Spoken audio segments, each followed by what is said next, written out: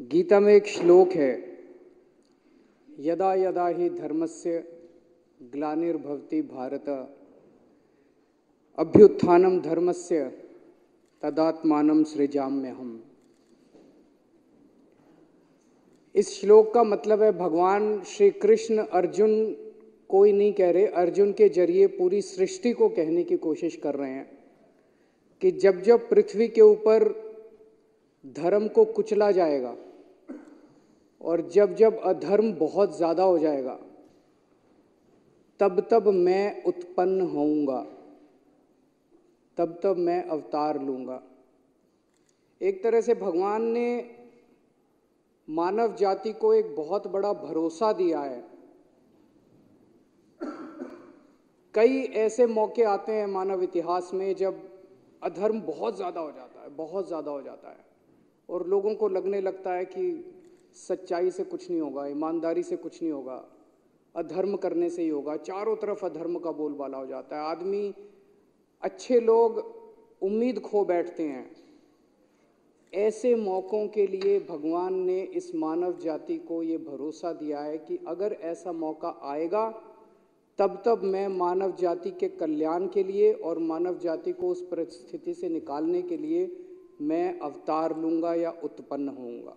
ये बहुत बड़ा भरोसा है भगवान का मानव जाति को। आज हमारे देश के अंदर जो घटित हो रहा है, ये कुछ उसी तरह की परिस्थिति है। चारों तरफ़ अधर्म का बोलबाला है। चारों तरफ़ इतना अधर्म हो गया है, इतना अधर्म हो गया है।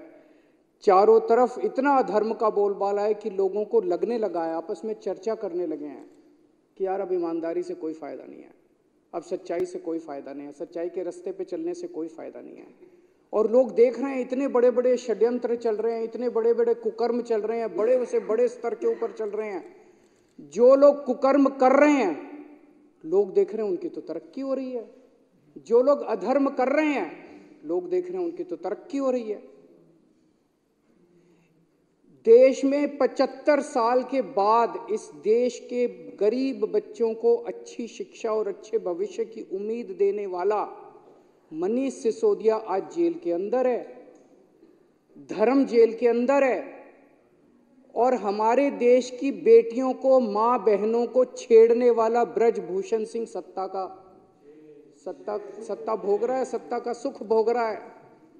आज इस देश के अंदर मोहल्ला क्लिनिक बनाने वाला, गरीबों को गरीब दवाइयाँ दिलवाने वाला सतेंद्र जैन जेल के अंदर है। और चुन चुन के इस देश के सबसे बड़े कुकर्मी, सबसे भ्रष्टाचारी, हेमंत विश्व शर्मा, शुभेंदु अधिकारी, मुकुल रॉय, नारायण राणे, भावना गावली, अशोक चौहान यशवंत यादव यामिनी यादव छगन भुजबल, अजीत पवार, प्रफुल्ल पटेल, गोपाल कांडा, पता नहीं इतनी लंबी लिस्ट है। चुन चुन के, चुन चुन के इस देश के सबसे कुकर्मी और सबसे भ्रष्ट लोगों को अपनी पार्टी में शामिल करा के उन वो सत्ता का सुख भोग रहे हैं। ईमानदार लोग जेल के अंदर हैं। आज इतना ज़्यादा अधर्म हो गया है, चारों तरफ़ इतना अधर्म का बोलबाला हो गया है। खुलेआम एमएलए को खरीदा जा रहा है। हमारे एमएलए को 25-25 करोड़ रुपए ऑफ़र किए गए। एमएलए को खरीद खरीद के खुलेआम सरकारें गिराई जा रही हैं। कर्नाटक में एमएलए खरीदे गए, गोवा में एमएलए खरीदे गए, महाराष्ट्र में एमएलए खरीदे गए, मध्य प्रदेश में एमएलए खरीदे गए, नॉर्थ ईस्ट के अंदर एमएलए खरीदे गए, उत्तराखंड में एमएलए खुलेआम एमएलए खरीदे जा रहे हैं। करोड़ों करोड़ों रुपए के काले धन से एमएलए खरीदे जा रहे हैं। सरकारें खुलेआम गिराई जा रही हैं। लोगों का विश्वास खत्म होता जा रहा है धर्म से। चारों तरफ़ इतना धर्म का बोलबाला हो गया है। और ये जो चंडीगढ़ में हुआ, चंडीगढ़ के अंदर इनके अधिकारी ने वोट में गड़बड़ करके भारी बहुमत से जीतने वाले व्यक्ति को हरा दिया और हारने वाले व्यक्ति को जिता दिया। पाकिस्तान में भी तो यही हुआ। पाकिस्तान के अंदर भी तो रावलपिंडी के उस इलेक्शन कमिश्नर की आत्मा जाग गई, जिसने आके कहा कि हमने भारी बहुमत से उन लोगों को हरा दिया जो भारी बहुमत से जीत रहे थे और उनको जिता दिया जो हार रहे थे। तो ये तो इन लोगों ने हमारे देश को पाकिस्तान बना दिया। पचहत्तर साल के अंदर, पचहत्तर साल के अंदर जो इस देश ने अचीव किया था, हासिल किया था, कड़ी मेहनत से इस देश के 140 करोड़ लोगों ने मेहनत करके इस देश के अंदर हासिल किया था और एक झटके के अंदर इन लोगों ने सब कुछ खत्म कर दिया। आज चुनाव जीतने के लिए इनको जो मर्ज़ी करना पड़े करेंगे। ईवीएम में धांधली करनी पड़े करेंगे। ईडी पीछे लगानी पड़े, लगाएँगे। सरकारें गिराने के लिए जो मर्ज़ी करना पड़े करेंगे।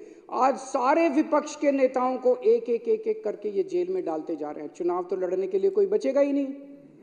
आज इन्होंने अभी थोड़े दिन पहले कांग्रेस पार्टी का अकाउंट फ्रीज कर दिया। अब चारों तरफ़ चर्चा है, अगला आम आदमी पार्टी का अकाउंट फ्रीज करने जा रहे हैं। खुलेआम कह रहे हैं, हम तो 370 सीट लड़ रहे, जीत रहे हैं 370 कहने का मतलब यह है, इस देश के 140 करोड़ लोगों की ज़रूरत नहीं है। वो कह रहे हैं, तुम जाओ भाड़ में। 140 करोड़ लोग गए तेल लेने। हमें तुम्हारी ज़रूरत नहीं है और ना तुम्हारा वोट चाहिए, घर बैठना। 370 सीट हमारे पास मशीन है।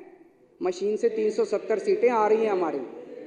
जिस दिन इस देश के अंदर लोगों की ज़रूरत ना पड़े, जनतंत्र के अंदर वोटों की ज़रूरत ना पड़े देश ही नहीं बचेगा। तो लोग देख रहे हैं, इतने बड़े स्तर के ऊपर अधर्मी अधर्म हो गया, इतने बड़े स्तर के ऊपर अधर्मी अधर्म हो गया है। जो इस देश के अंदर विपक्ष की सरकारें काम करना चाहती हैं, उनको काम नहीं करने देते। इससे बड़ा धर्म क्या होगा कि गरीबों की दवाइयाँ रोक दी गई, अस्पतालों के अंदर गरीबों की दवाइयाँ रोक दी गई। गरीबों के टेस्ट रोक दिए गए, गरीबों को मरने के लिए सड़कों के ऊपर बेहाल छोड़ दिया गया। इससे बड़ा अधर्म क्या होगा कि मोहल्ला क्लिनिक के अंदर जहाँ गरीब जाके अपना इलाज कराता है, वहाँ की बिजली रोक दी गई, वहाँ के डॉक्टरों की तनख्वाह रोक दी गई, वहाँ पे काम करने वाले नर्सों और कंपाउंडरों की तनख्वाह रोक दी गई, वहाँ के टेस्ट रोक दिए गए। इससे बड़ा हमारे हिंदू धर्म में कहा गया कि पानी पिलाने का धर्म होता है। इन लोगों ने तो दिल्ली का पानी भी रोक दिया, उसमें भी इन्होंने कसर नहीं छोड़ी। तो लोग देख रहे हैं, जितनी सरकारें हैं, पंजाब के अंदर हम जितने काम करने की कोशिश करते हैं, पंजाब भगवान की दुआ से फुल स्टेट है, उतना ये नहीं कर पाते। वहाँ भी इन्होंने हस्तक्षेप करने में कोई कसर।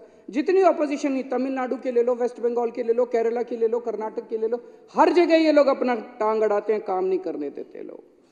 आज हमारे किसान दिल्ली आना चाह रहे हैं, बताओ क्या कसूर है जी? दिल्ली तो कोई भी आ सकता है, दिल्ली तो देश की राजधानी है। उनके पास कोई हथियार नहीं है, कुछ नहीं आने दो दिल्ली में। हमने भी तो रामलीला मैदान में आंदोलन किया था। रामलीला मैदान दे दो, बैठ जाएँगे बेचारे। अपना अधिकार अपनी आवाज़ उठाने का तो सबको अधिकार है। आर्टिकल 19 के अंदर संविधान के। किसानों को नहीं आने देते, ना उनकी फ़सलों का दाम। वो क्या मांग रहे हैं? वो कह रहे हैं कि हम जो फ़सल पैदा करते हैं, हमें अपनी फ़सलों का पूरा दाम मिलना चाहिए। बिल्कुल मिलना चाहिए। फ़सलों का दाम भी नहीं देंगे, प्रोटेस्ट भी नहीं करने देंगे। आज इस देश का युवा बेरोजगार है, उसको नौकरी देने के इनके पास कुछ नहीं है दर दर की ठोकरें खा रहा है। व्यापारी बुरे हाल है, महिलाएँ, उनका घर का खर्चा नहीं चल रहा, महँगाई इन लोगों ने इतनी ज़्यादा कर दी और एक गरीब दिल्ली के अंदर हम देख रहे हैं कि झुग्गियाँ, एक के बाद एक झुग्गियाँ तोड़ी जा रही है। तो खुलेआम इतना अधर्म हो गया, खुलेआम इतना चारों तरफ़ इतना ज़्यादा अधर्म हो गया कि अब भगवान ने तय किया कि मुझे अवतार लेना पड़ेगा। समय आ गया जब मुझे उत्पन्न होना पड़ेगा। और पिछले मुझे हस्तक्षेप करना पड़ेगा और पिछले कुछ दिनों की घटनाएँ ये दिखाती हैं कि भगवान ने सीधे तौर पे हस्तक्षेप करने की और उत्पन्न होने का निर्णय ले लिया है।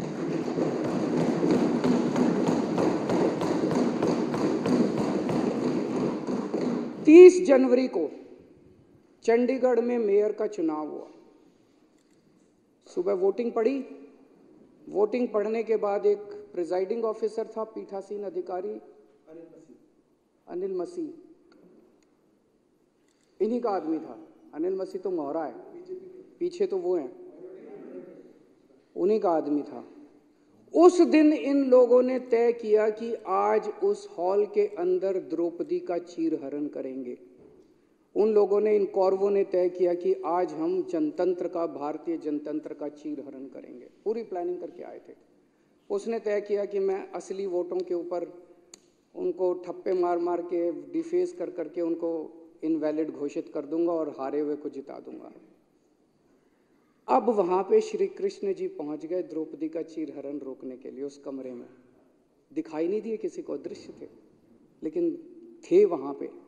आप लोगों ने अगर वीडियो में देखा हो, वीडियो में वहाँ जितने बीजेपी वाले मौजूद थे, सारे कह रहे हैं, कैमरे ऑफ़ करो, कैमरे, देखे आपने वीडियो? सारे चिल्ला रहे हैं, कैमरे ऑफ़ करो, कैमरे ऑफ़ करो। कैमरे ऑफ़ क्यों नहीं हुए? श्री कृष्ण जी वहाँ मौजूद थे, उन्होंने कैमरे ऑफ़ इन्होंने पूरी कोशिश करी।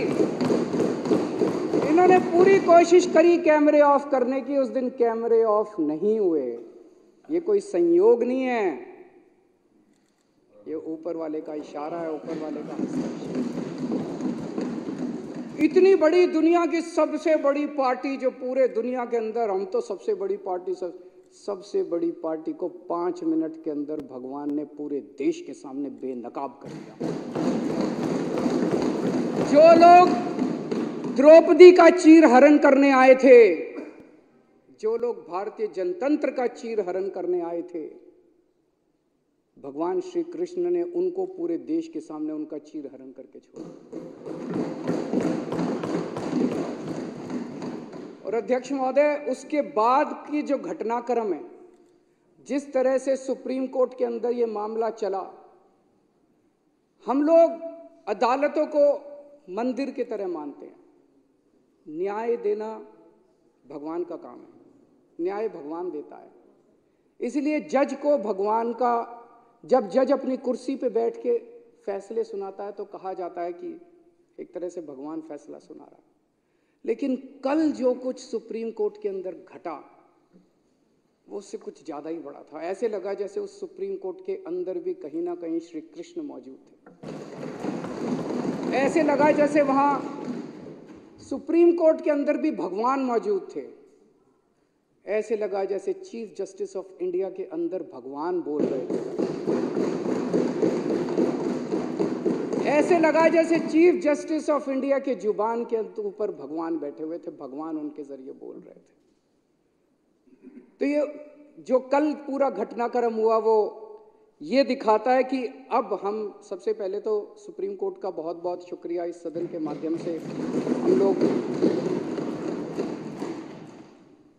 हम इस सदन के माध्यम से सुप्रीम कोर्ट का शुक्रिया अदा करना चाहते हैं। उस पूरी बेंच का शुक्रिया अदा करना चाहते हैं। खासकर चीफ जस्टिस ऑफ़ इंडिया का शुक्रिया अदा करना चाहते हैं जिन्होंने इतने कठिन समय के अंदर हमारे देश को जनतंत्र को बचाने का काम किया। आज पूरे देश के सामने भगवान ने बेनकाब करके एक साफ़ साफ़ मैसेज दे दिया भगवान ने। बीजेपी चुनाव जीतती नहीं है, बीजेपी चुनाव चोरी करती है। पूरे देश के सामने सबने वीडियो देखा है, सबने किस तरह से सुप्रीम कोर्ट का आदेश सुना है, सबने पूरे पिछले एक महीने के घटनाक्रम ने पूरे देश के सामने इस पार्टी का चीर हरण करके छोड़ दिया कि बीजेपी चुनाव जीतती नहीं है, बीजेपी चुनाव चोरी करती है। ये कोई संयोग नहीं है कि एक छोटा सा चुनाव, चंडीगढ़ के मेयर का चुनाव क्या होता है, कुछ भी नहीं होता। हमने तो ऐसे सोचा था उस दिन कि ऐसे ही हो जाएगा, हमें तो एक छोटे से चुनाव ने पूरे देश के अंदर सारे देश को हिला दिया। कुछ ना कुछ तो भगवान दिखा, बताने की कोशिश कर रहे हैं, संदेश देने की कोशिश कर रहे हैं तो भगवान का संदेश है। मैं आ गया हूँ।